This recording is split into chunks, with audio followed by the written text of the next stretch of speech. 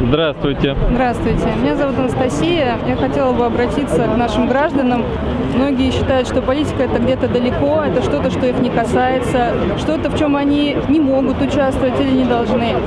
Я хочу сказать, что это не так, что политика это все мы, это наши активные действия. Э, Если у вас под окном ждут мусор, не надо это терпеть. Не молчите. Если не ценят ваш труд, не надо это терпеть. Э, Любое ваше высказывание, даже маленькое, оно имеет вес. А когда нас много, и когда мы все вместе выступаем за одну идею, этот вес увеличивается многократно. Поэтому я хочу сказать, что, э, пожалуйста, не думайте, что от вас ничего не зависит. От нас многое зависит, особенно если мы вместе, если мы объединяемся.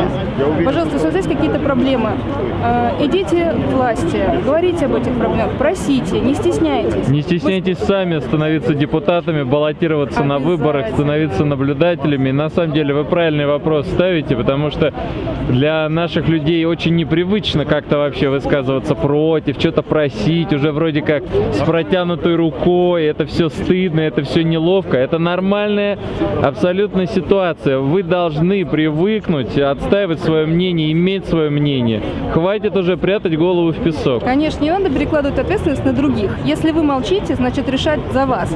Это не скромность, это перекладывание ответственности за свою судьбу, за судьбу своих детей на других. Пожалуйста, давайте прекратим так себя вести, высказывайте о всех проблемах, которые есть. Если не хотите, не можете лично, можно в социальных сетях. Каждую субботу, пожалуйста, приходите к памятнику Пушкина, два часа. Будет здорово, если нас тут будет хотя бы в 3, в 4, в 5 раз больше. Спасибо большое. Спасибо. Всего доброго. Так, Можно так, мне? давайте.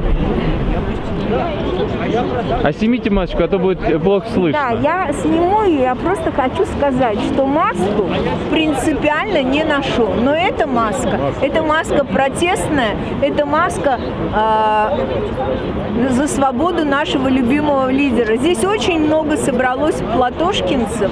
Вот, это э, символ нашего движения. Теперь э, уже партия организовывается. Но я хочу сказать, во-первых, поприветствовать всех.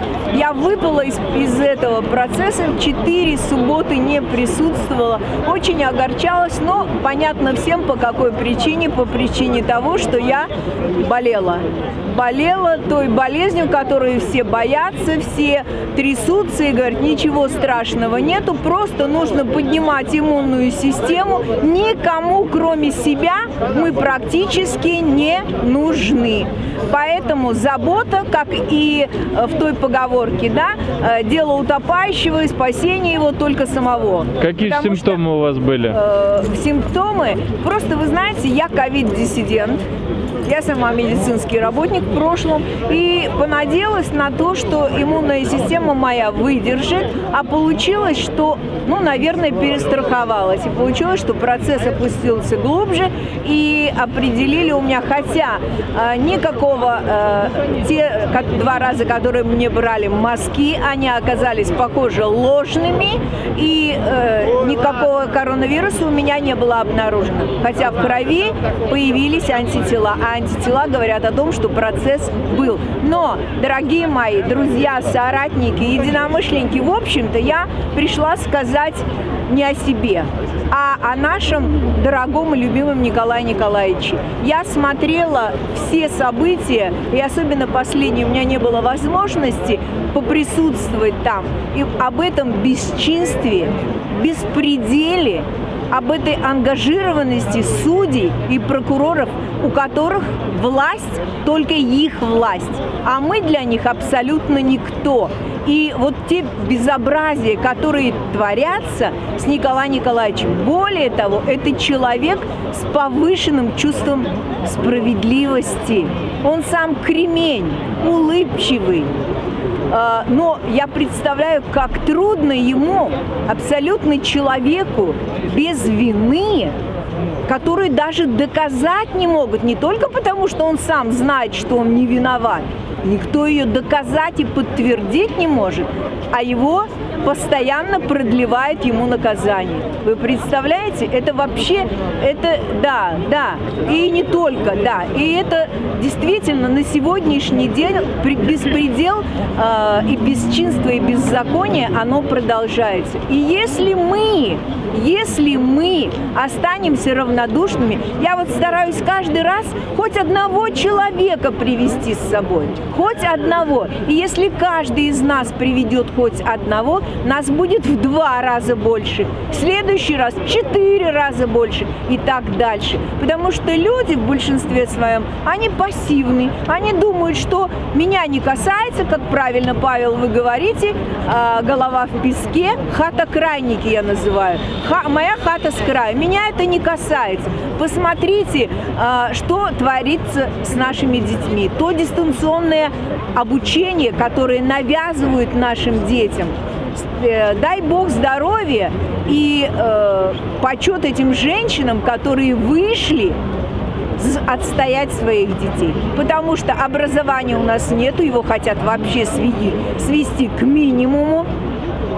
Медицины у нас как таковой нету. Я проработала 20 с лишним лет в медицине и хорошо помню, как было раньше. И те прививки, вакцины, которые нам предлагают, ни в коем случае, потому что они не опробированы. Там непонятно, какая субстанция.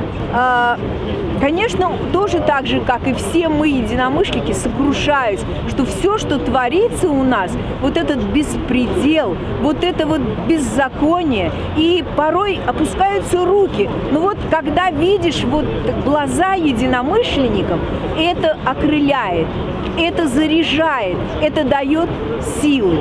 Но к тем, кто не с нами, я хочу обратиться выражением, ну, кого-то из известных и великих, не могу сейчас сказать, наказанием за гражданскую пассивность является власть злодеев. Давайте не допустим того, чтобы с нами произошло вот все это. Только наша активность, только наше э, внутреннее состояние к этому приведет к тому, что мы, объединившись сейчас, и настал вот здесь, и те, кто при, до меня выступали, говорили, что самое важное, самое главное – объединиться. Я, например, объединила свой подъезд. У меня они приходят тоже. Меня не было, они сюда приходили. Немного. Кто-то закрывает двери, а кто-то прислушивается. Но если мы не будем давать информацию, все будет на том же месте. Золотые Поэтому слова. Спасибо вам. Помните об этом. Всех благ, всем удачи и здоровья.